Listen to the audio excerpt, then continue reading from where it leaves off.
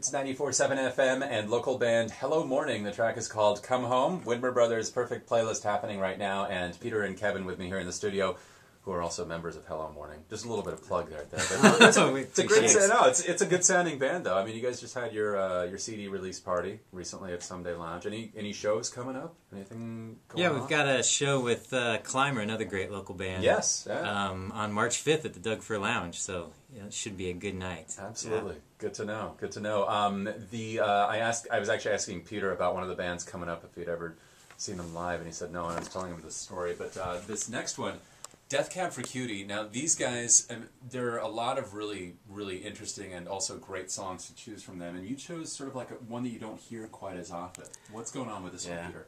Oh, I don't know. I tend to go for uh, for deep cuts on albums. Cool. Uh, yeah, and Death Cab. I've seen them a few times live. They're. What do you think? I mean, when's the last time you saw them? Like, do you remember the venue? And Uh, I think it was at Sasquatch Festival Oh, a few years alright. ago. It was great. There was, you know, how does it compare seeing them at like a big festival, you know, as compared to like just, you know, for example, here in town at the Crystal, would you say? I mean, uh, it was much much louder. there were many more hippies rolling in the mud.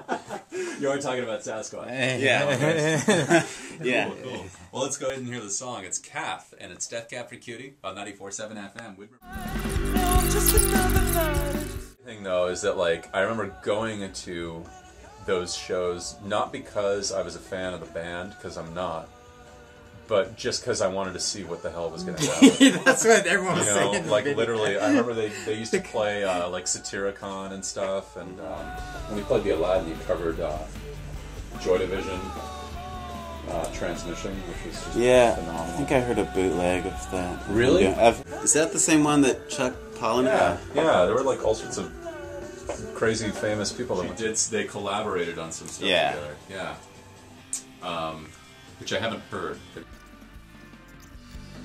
he is a really cool guy.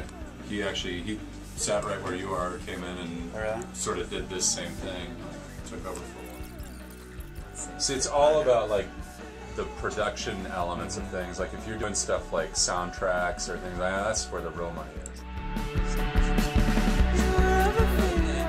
From my email gustav at 947.fm or uh, get local.